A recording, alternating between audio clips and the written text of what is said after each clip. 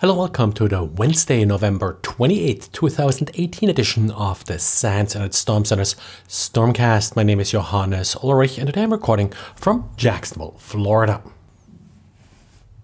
Xavier today is taking a look at an obfuscated bash script that a reader found on a compromised QNAP storage device.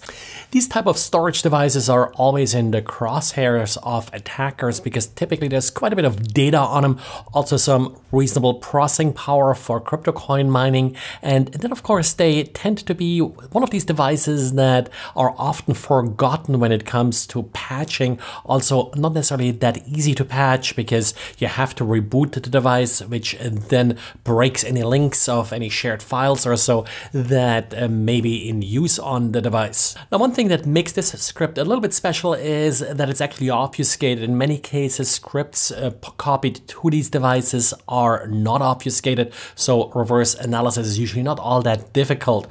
Now, in the end, what this particular script is doing is pretty standard. It's setting up backdoors. It's also setting up a backdoor admin account and then does some brute forcing. Not 100% clear how this particular script ended up on the device, as in what vulnerability was used to copy it, but often it's just a simple SSH password or a vulnerability in one of the many web applications that are typically running on these devices.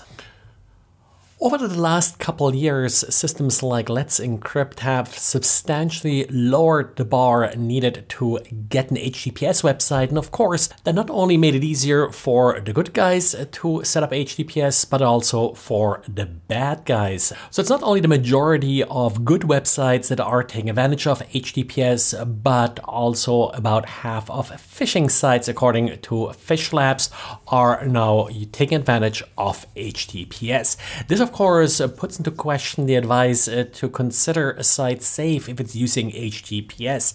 The only thing HTTPS does is it encrypts the content and it does authenticate that you are connecting to the correct domain, but it doesn't protect you from typos, it doesn't protect you from phishing. So you still have to be careful which sites you visit. Now, extended validation certificates, we're supposed to address this a little bit, but according to some, they they actually sort of made it worse, even though there is still a substantial, at least money hurdle in obtaining an extended validation certificate.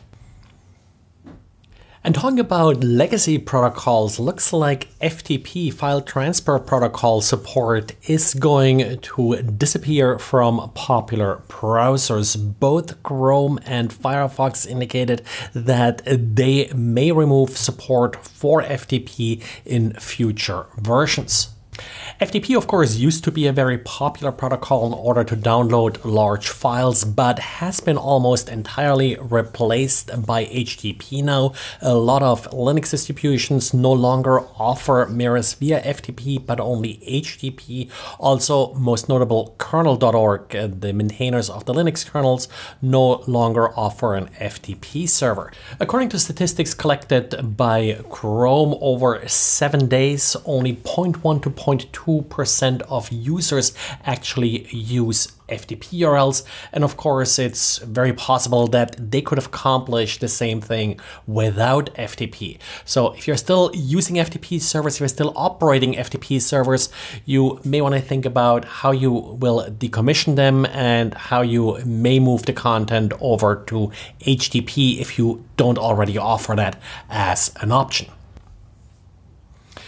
And the California wildfires apparently are being used in some somewhat targeted email scams. Not sure if I would quite qualify them as business email compromise scams, but essentially what's happening here is that these emails appear to come from the CEO of a company and they're asking to issue Google gift cards in order to support clients that are stuck in these wildfires. In the particular email published here by Gary, the attacker asked for four times $500 in gift cards.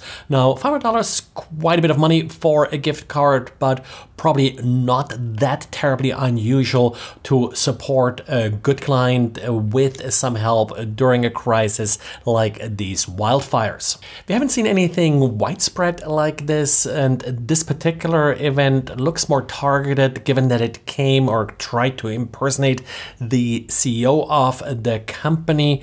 But if you run into anything like us, uh, I would appreciate a copy of any emails like this.